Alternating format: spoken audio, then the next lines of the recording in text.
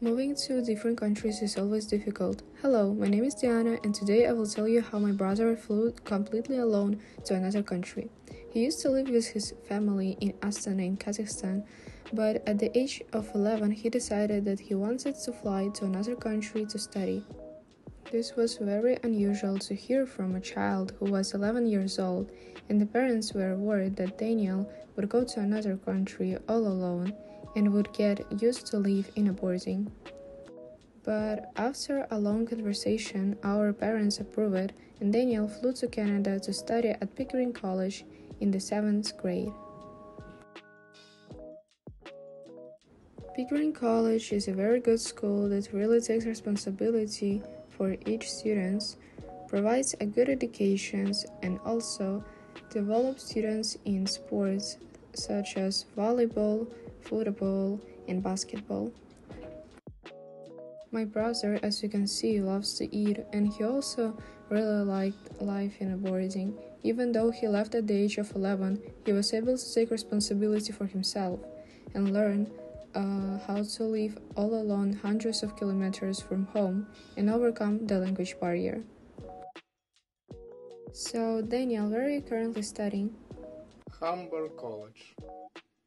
Daniel studying in specialty of engineering.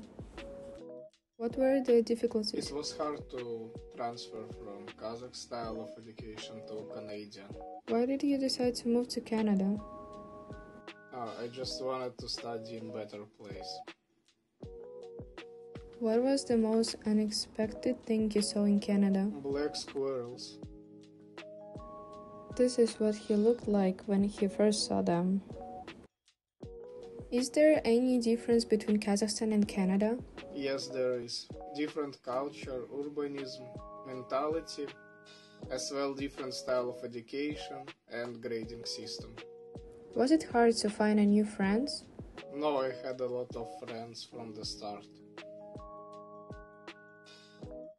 What was the hardest thing for you? The hardest thing was attending study time for five years.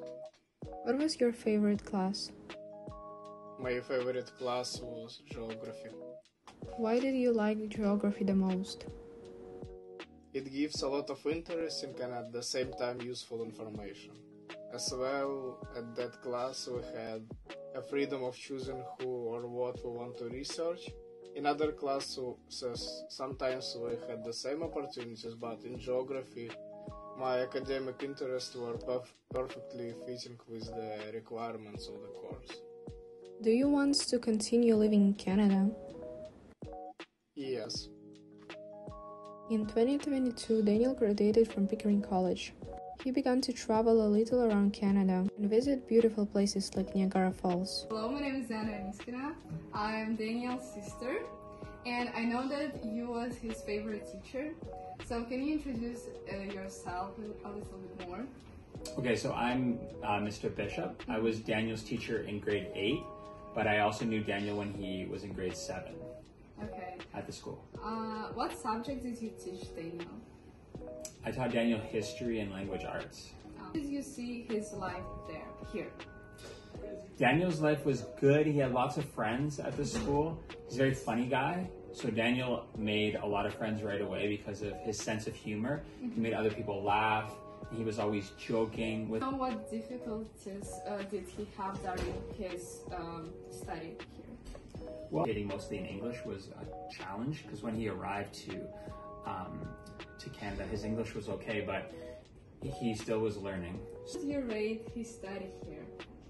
I think his study here was really positive. Like the things that I remember about Daniel was he enjoyed being here. Like he enjoyed playing sports. I remember coaching him in soccer, and he really enjoyed that. Um, so he enjoyed being part of a team. I think he really enjoyed meeting all of the different people he met at the school. Your first impression of him? My first impression of him, he was my first impression of him. Daniel was that he was very funny.